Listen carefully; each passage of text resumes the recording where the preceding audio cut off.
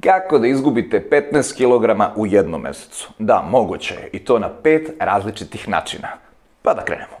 Ćao svima, ja sam Nebojša i tu sam da vam pomognem da preuzmete kontrolu nad svojim zdravljem i linijom. Na početku vam moram reći da sam tokom pripreme ovog videa vidio da ljudi kucaju Google svašta.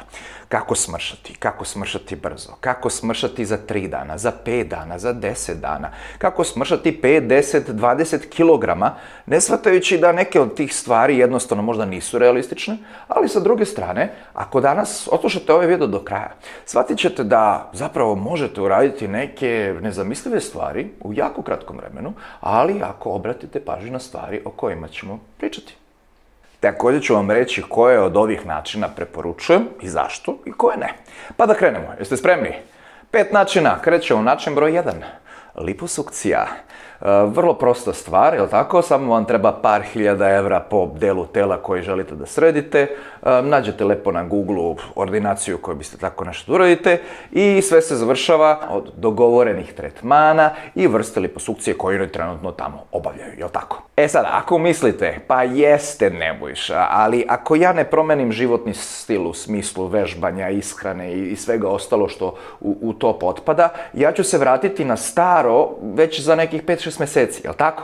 Pa naravno, totalno ste u pravu i to je naravno je najveći razlog zbog koga uopšte i ne preporučujem liposukciju, ali ako neko od vas u fazonu da to proba, odradite pa mi napišite dole komentare kako je bilo. Možda vam se svidi. Drugi način sam namestio da bude ovaj magični. Kako da izgubite 15 kg u jednom danu? Da, dobro ste čuli. E, proces se zove ubrzana dehidracija i u principu je rezervisan za sve sportiste koji imaju zadatak da smršaju što više pred određeno važno takmičenje i u principu se svodi na igranje sa telesnom temperaturom kako bismo izazvali što više znojenja i mokrenja.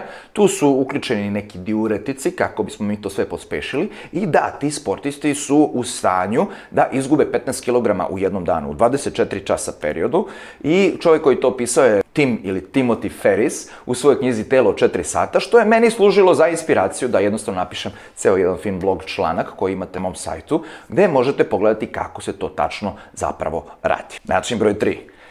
Nazvao sam ga ozbiljan rad sa ozbiljnim i ozbiljno motivisanim ličnim trenerom, jel tako? Tu ne reklamiram sebe, jer trenutno se uopšte ne bavim time, ali realno je moguće da ako neko od vas želi da reši svoj problem, da jednostavno ozbiljno plati nekog ozbiljnog trenera koji će ozbiljno da radi sa njim. Kad to kažem, moram da se vratim kroz vreme nekih 17-18 um, godina, znači kada sam krenuo ovaj, da radim kao lični trener kod profesora Duška Ilića, mi smo imali klijentkinju, na primjer, od 240 kg. Jednu ženicu koja je došla iz Nemačke u to vreme, meni negde dovde, i tu se stvarno ozbiljno radilo na ovaj, promeni telesne kompozicije, kako profesor tako ovaj, lepo zove. I suština je da su debeljuce koji su dolazile tada vežbale šest puta nedeljno, tri i po do četiri sata dnevno.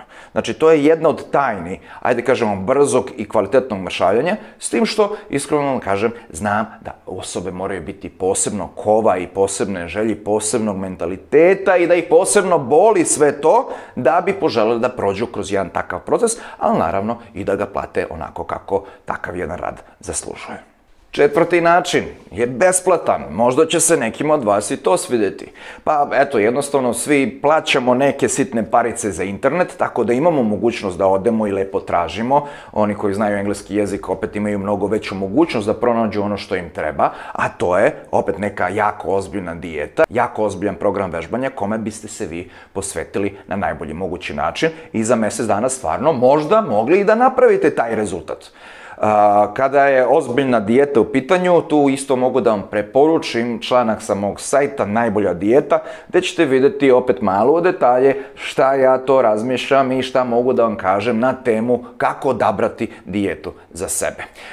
Ono što je jako bitno jeste da opet znate da ne propagiram jako brze rezultate, ako se dese, onda je to super. Ali u suštini, za većinu ljudi, ono što se kaže u narodu, što je brzo to i kuso, odnosno ljudi koji se opterete time da moraju po svakom cenu jako brzo da srede neke stvari u svom životu kao što je linija, onda jako brzo se posle uglavnom i vrate na staru priču.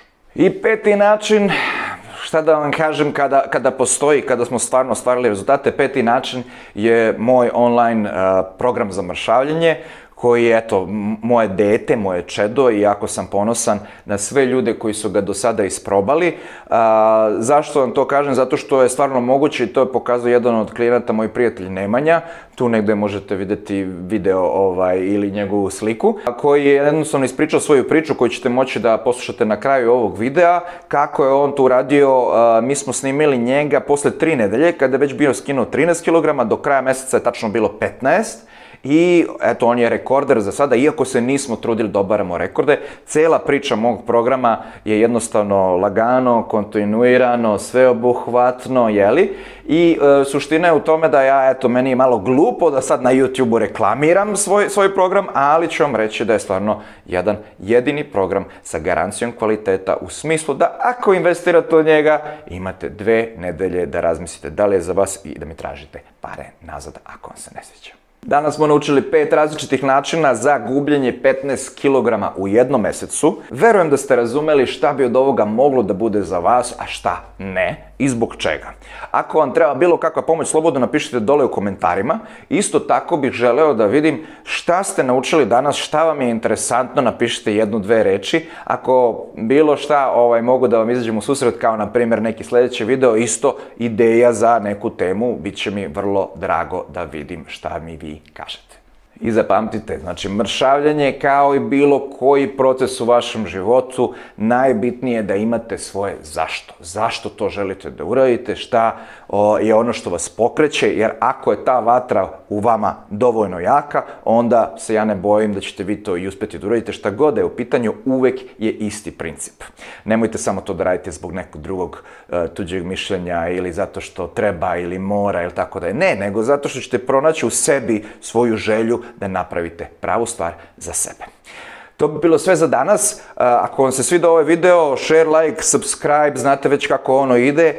Družimo se dole u komentarima, a za kraj vam mogu ponuditi, ako vas već interesuje mršavljanje, da pogledate moj prethodni video o zelenom čaju za mršavljanje. Znači, zeleni čaj je jedna prezdrava biljka koja nam može pomoći na toliko načina. A koliko stvarno možemo smršati pomoću zelenog čaja, pogledajte u videu. Nadam se da je vama bilo lepo koliko i meni. Za kraj, budite mi legendarni i jedva čekam da se vidimo opet.